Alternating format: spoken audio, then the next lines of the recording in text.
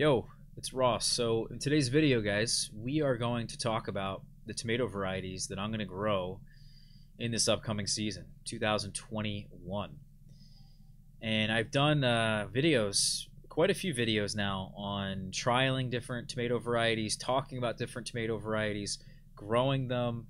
It, they seem to always get a positive response. So I figure this year, not just for my own sake, but you know, for the video's sake, for the viewer's sake, uh, we're gonna do more tomato varieties, more experimenting with that, to then talk more about tomatoes. And I figure also there was a few varieties that really caught my eye, and I figure why not just try a bunch more um, to see really what the deal is and talk more about them. I, I really have been overwhelmed by one particular video where we it was quite long actually. I think it was 28 minutes where we did a tomato tasting, and people seem to be. Uh, it was an overwhelmingly positive review. So I think obviously people like when I review figs because I offer a pretty unique, interesting perspective about them. I think a similar thing, maybe not in that sense, but something similar is happening with tomatoes. So we're going to talk more about them. We're going to grow more of them and in this video, I figured I'd go over the varieties that I've decided to grow or uh, maybe not I can't get them this year because maybe they don't have enough uh, seeds that are in stock or whatever it is, but we will try to grow them in the future. Um, so this is definitely, I think, also something high on my list that I'm very excited about and excited to talk to you guys about. So let's get into it. Um, as probably most of you know at this point, my favorite varieties of tomatoes are pretty simple, and you can break them down by category. So, in terms of a beefsteak, which is above all else, in my opinion, um, my favorite of those types is the pink brandywine. I don't think it's possible to beat it.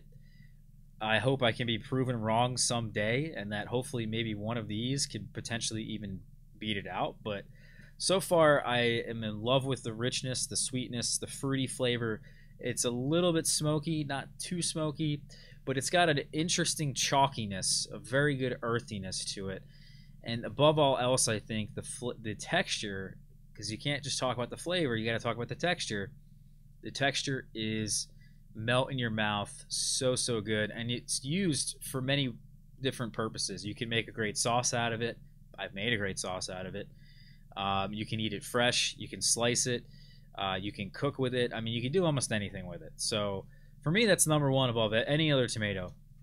In terms of the paste tomatoes, in terms of making them uh, for sauce, I've made a lot of sauce over the years of different varieties. Not that many, actually. I'd love to experiment more with paste tomatoes. But going off of Amy Goldman's book, The Heirloom Tomato, I believe it's called, in that book, she really highly recommends the orange banana tomato and I guess I should bring these guys up for you. The orange banana tomato. And I'm telling you, she says it in her book, and it's true. It just makes the best sauce. It just does. Like, I've never had a better sauce that uh, from my own tomatoes or from even like a store bought tomato. My friends who, um, you know, my one of my good friends Dom. Maybe you guys have, have heard a little bit a little bit about him on this channel. He makes the best amazing pizza. Really has careful, incredible ingredients with his pizza. He came over the house one day. We made the pizza actually, brought it to a friend's, my other friend Chris. We loved it. We enjoyed it. And Dom just could not stop remarking on the sauce. It was really a home run. I mean, I, I'm telling you that the sauce I make is so flavorful and it comes back to the tomato. It's not anything to do with me because I'm special in some way. It really is how you grow the tomato and the variety, the genetics of the tomato. So the orange banana for me is just king. And uh, until I find something better, it will always be king at least. Um, okay, so then there, we got the beefsteak, the paste tomato, and then now let's talk about the salad or the larger cherry tomato type tomatoes that you could say are you know for salads or for fresh eating or for people with large mouths that can put a salad tomato in their mouth for me it's the green zebra and you know, I think personally the the green tomato, uh, the green tomatoes are just completely underrated. It, it really is, and they are special, especially if they're very acidic. Some of the green tomatoes are not of that acidic profile.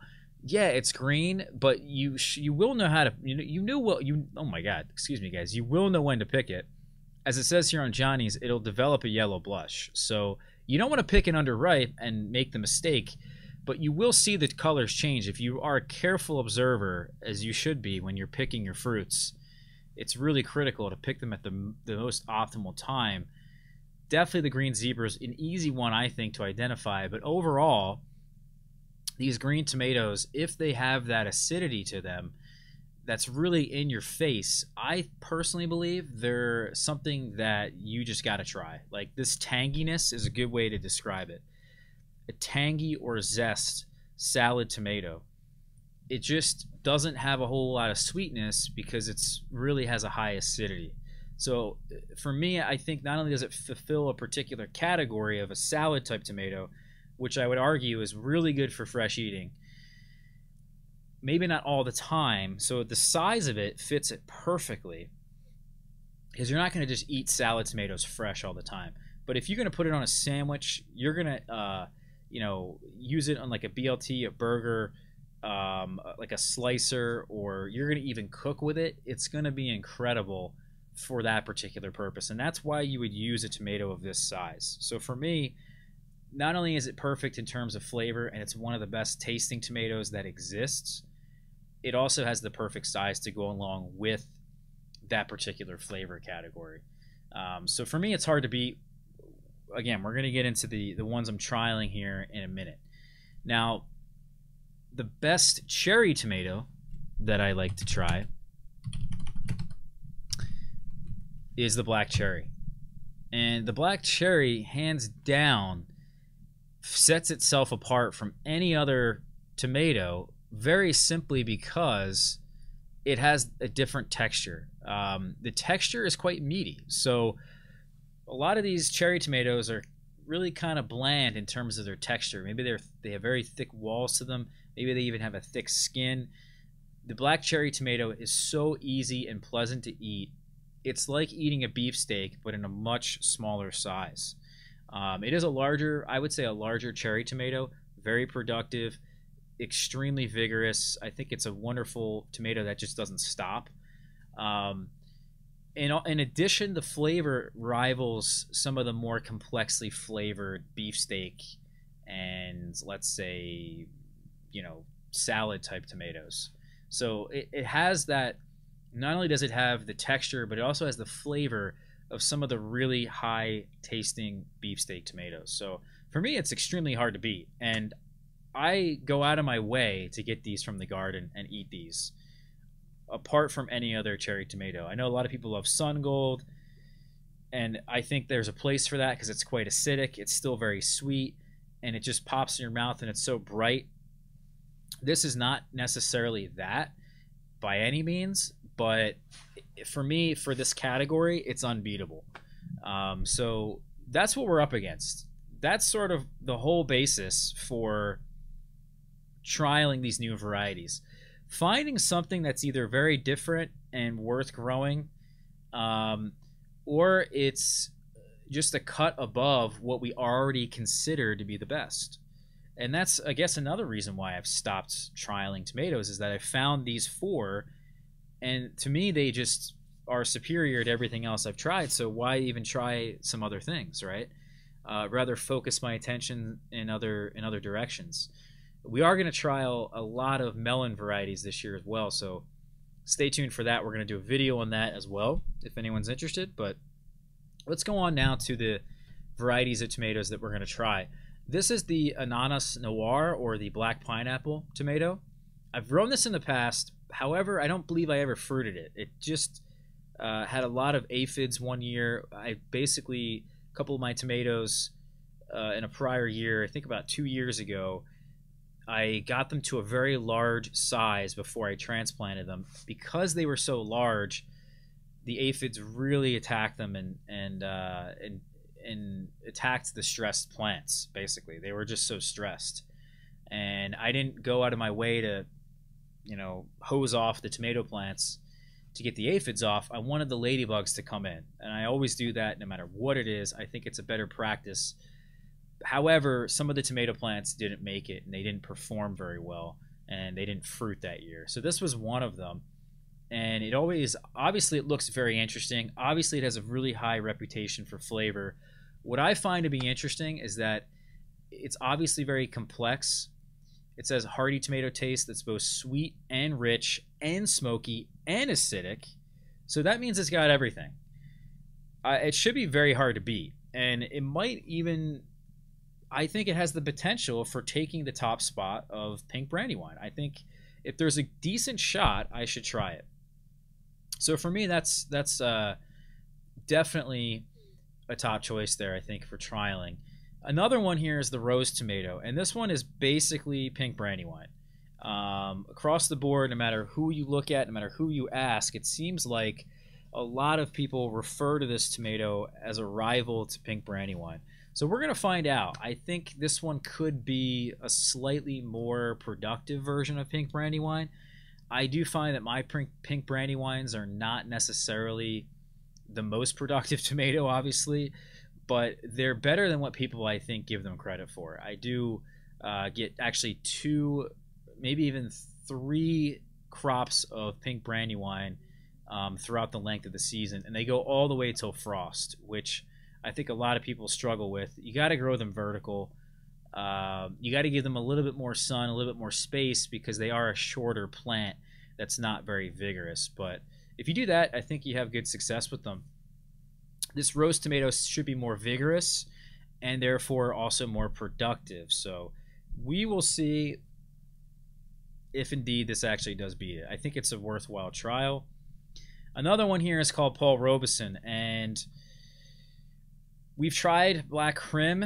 Uh, really, my first year of growing some of these more heirloom, amazing type tomatoes. We tried Black Krim, Pink Brandywine, and Black Cherokee. Is it Purple Cherokee or Black Cherokee? I'm not sure. But uh, the three of those together, side by side, and the Pink Brandywine always won for me. However, even since I've tried Black Krim a number of times, and Black Krim just doesn't do it for me like the pink brandywine. Yeah, it's great, but when I have a pink brandywine, I'd rather eat that.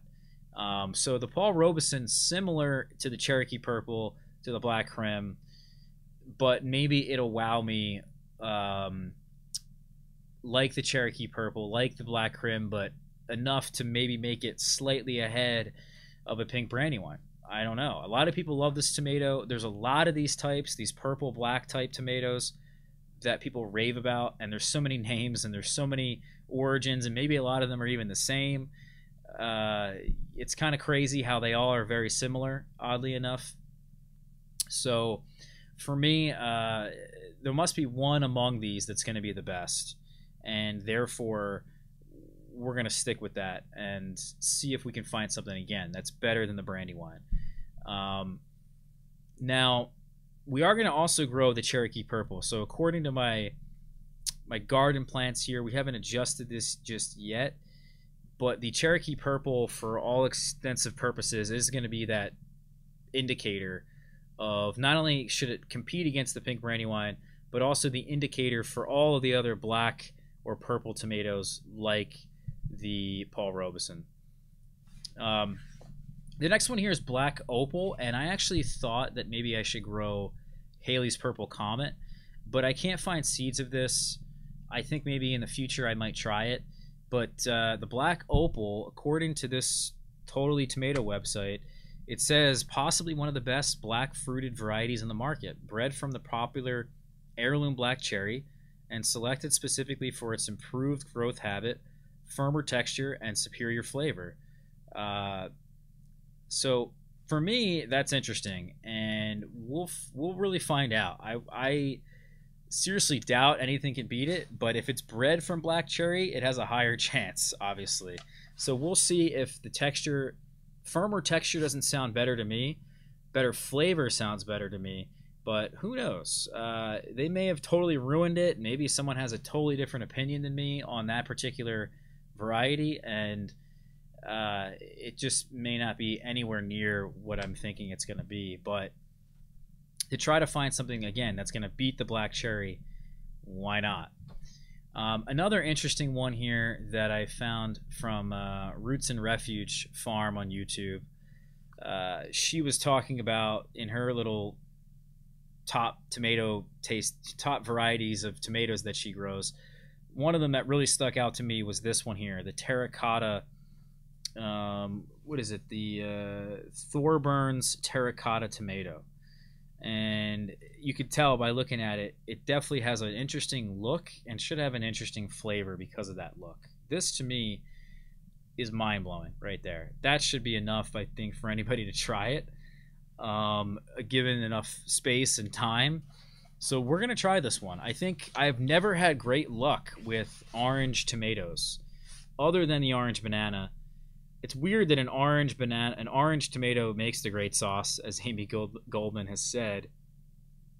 Um, but this one here, who knows? It's got some greenish in it, so it's probably not your typical boring green yellow tomato that uh, a lot of people, for whatever reason, go crazy for. Um, so we'll see. It definitely looks very interesting. Again, in competition for that top brandywine spot. Maybe you know this one and the black pineapple could bring something different and unique that makes me want to grow uh, grow those as well alongside the the pink brandywine. You never know. Um, I've heard a lot of good reviews on this, especially from Roots and Refuge, who made a good argument about this. How it was in, I think she said it was in her salsa or something that she made, and she mixed in different types of tomatoes and she always knew when she took a bite of this tomato because it was incredibly rich. So I love rich tomatoes, and that umami flavor is really what I think to me is the most important. This one also was recommended by Roots and Refuge as the Napa Chardonnay from Brad Gates at Wild Boar Farms. Uh, his review was enough to to make me want to grow it, uh, or at least his description. Very productive yellow cherry with. Uh, I don't even know how to say that word, so we're to skip it. Great looking with a very good flavor that is sweet rich. Everyone who's trialed it was pleased. Another variety that has exceptional hang uh, hang time on the vine quality and can be harvested by cutting the entire clusters off. That's always a plus, um, especially here in this rainy environment. Anything that can really fight the mold and this humid climate that I'm in is definitely a plus making for a very pretty and unique look early and does well in cool and hot conditions.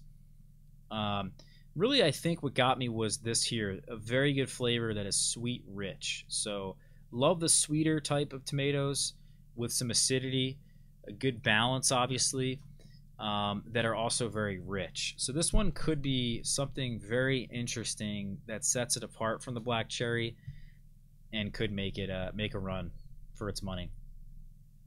This one here I found on Johnny's. Can't get it. They're only selling right now to commercial farmers because of COVID. They seem to be pretty busy, and I don't blame them. It just stinks that you can't find this. And also, it's so expensive. Look how much one packet of seeds is. That's ridiculous. 15 seeds for $21. But as they say, I mean, it seems to be worth it because look at this. Marnero keeps the best attributes of black tomatoes and improves upon the disease resistance and yield. Flesh is very soft, excellent flavor and texture. A dead ringer for Cherokee Purple. So for me, that's like they just took Cherokee Purple and improved it. Why would you not grow it? Because it's a hybrid and you can't save seeds? Yeah, that does suck, but if it is indeed slightly better than Cherokee Purple, it seems to me like it's worth trialing at the bare minimum.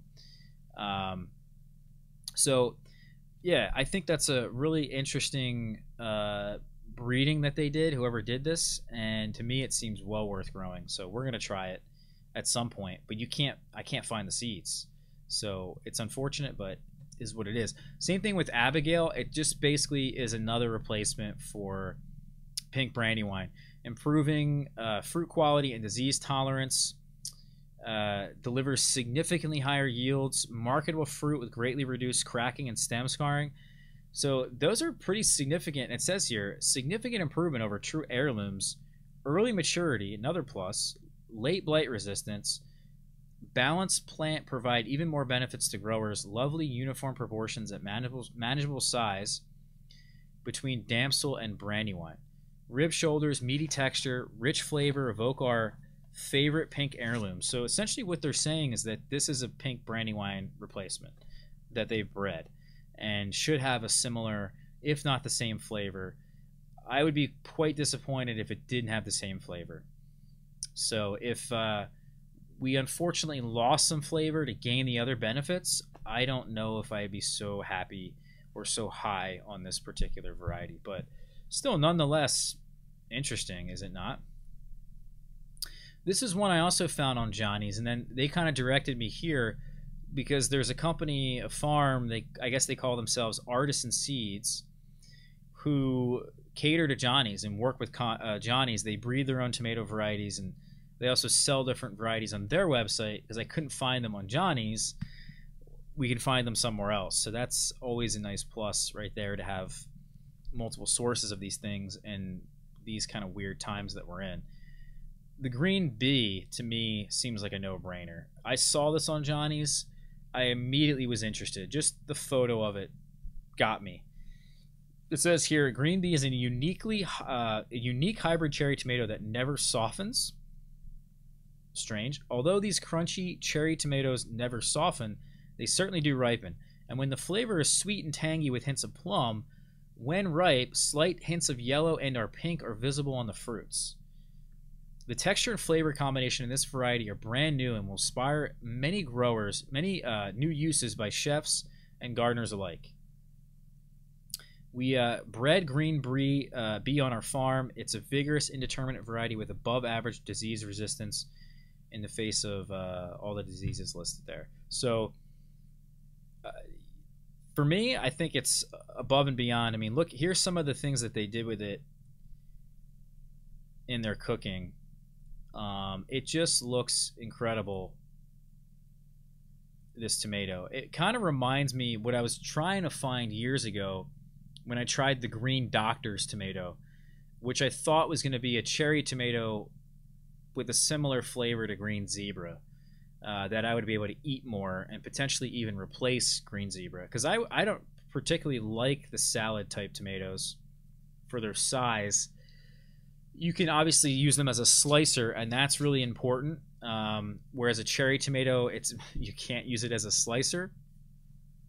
But certainly, if I wanted to pop something in my mouth that was far superior to Sun Gold and have that bright, acidic flavor to it, I thought Green Doctors would be that tomato, and it just wasn't. It wasn't very good at all. Um, there was a couple other green cherry tomatoes I looked at and tried, and didn't seem like anything really you know seemed like it it really got my attention. This one is definitely got the tanginess to it, hints of plum. Uh, it's also kind of sweet, I imagine. So for me, very interesting. Also, could be very interesting in the kitchen. I think this one's probably going to make the cut already. I don't even. I sort of have very little doubts about this one. The next one here is called Karma Miracle. And this one's bred by Karen Olivier, True North Tomatoes. You can find her on Facebook apparently. I think she's in Canada and she's breeding tomatoes for northern climates. This one really stood out to me by a couple uh, descriptions, especially this one here. It says it's a vigorous and productive potato leaf variety producing ripe fruits approximately 75 days after transplant. Fruits are green with pink marbling, and the flavor is exceptional. Flavor is exceptional, guys. There it is. That's enough for me. I mean, look at it. Uh, it looks incredible, and they them saying the flavor is exceptional. That's enough for me. So, other varieties here that we've considered growing and, and will consider growing is the Sweet Tooth and the Bear's Tooth from Brad Gates at Wild Boar Farms. These are both tomatoes that we looked at. Sweet Tooth tomato seeds. This is a variety like the like the both of them. that are dark purple tomatoes that are paste tomatoes. So this was interesting to me because I hadn't find a purple paste tomato before that I've tried and considered growing. As we know, the color really largely determines the flavor. I like the orange ones; they're quite fruity and they give a fruitiness to the sauce.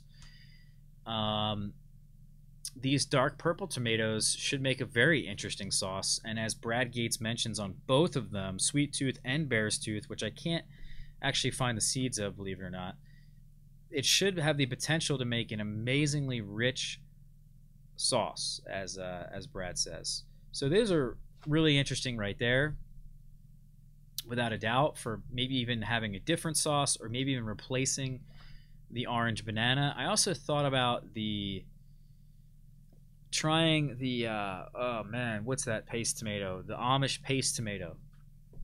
Obviously has great reviews. Everybody loves it. I tried Opalka one year, didn't like it. Uh, not necessarily for the flavor, but didn't like how it performed. I tried another friend's paste tomato that was good. Didn't like how it really performed. Um, actually, it is quite an incredible tomato, believe it or not. I just find this orange banana is out of this world. So um, it's got they got tough competition. I'll tell you that. The other ones we're gonna try is Blondkopfchen, which we've done a review on in the past. It's also called Eadley. In my opinion, it's similar to Sun Gold or similar enough that you shouldn't probably grow both. The Eadley or the Blondkopfchen produces an insane amount of tomatoes. I mean, the clusters of tomatoes are crazy. Uh, for that reason, I think it's totally worth showcasing that one again and and uh, and trialing that one again. The other one that we're trialing here is Solar Flare, and I sort of regret even getting this one. I think, in all honesty, the Solar Flare tomato just doesn't. I had high, higher hopes for it, but it something about it is now giving me the, you know the, what is it? Uh, like buyer's remorse essentially. Um, it's a beefsteak, red with gold stripes, very meaty, luscious, sweet red tomato flavor. Uh, I like the meatiness of it. If that's true, luscious, sweet red tomato flavor. That to me is a little worrisome. Um, it says it was selected for flavor, wow factor, production, increased earliness, but I don't know if that's enough for me. So I we're still going to grow it. We're still going to trial it, but I'm sort of a little bit less on that you know high right now about this variety for whatever reason. Maybe I'll be proven wrong. He says it's one of his workhorses, so that's always good. And at worst case scenario, I get a ton of tomatoes. So whatever, right? But I guess it's an interesting red that we'll try and grow and see what the deal is with that. Some of the varieties I think I got rid of was decided not to grow was Black Beauty we're definitely not going to grow that. Um, after kind of reviewing the video that I did on these tomatoes a couple years ago and seeing the Black Beauty in it, I didn't really have the greatest view on it. It doesn't seem like my tomato. It's more about the color and the beautiness of it than it is about the flavor. And we're all about the flavor. So if it's gorgeous, that's only a nice plus. Um, I did like the earthiness of the Black Beauty. It really was like eating fennel while eating a tomato, but I could just grab a fennel leaf, a little bit of fennel, even some seeds or something, and eat it with the tomato and have that similar earthy herbal flavor to it. Um, you know, with any other tomato. So, uh, and you can do the same thing, obviously, with basil or rosemary or whatever it is you want to eat. Um, yeah, so for me, it's just it's lower on the list, and and maybe I'll grow it just to have it in the trial and just say we grew it again because it's an interesting tomato, but yeah, not as high on it. And I think we got a lot to choose from here, a lot to trial, see what the deal is. I'm still considering other options, but I think I'm sort of now done. I would be pretty surprised unless some of you came out and really said, Ross, this is a really amazing tomato. You should definitely grow it um, for a pretty good reason. So if you have a tomato like that, please comment down below. I am interested to know what everybody's going to grow in terms of their tomatoes. So let me know down in the comments as well. And we will see you guys for the next video. Um, and we're going to be seeding these. We'll do a video on that. We're going to talk about planting them, how we're going to grow them, and then their reviews throughout the year. So stay tuned for all of that. We're probably a little bit away from any more tomato updates, but we'll see you guys in the next one, all right? Take care, guys.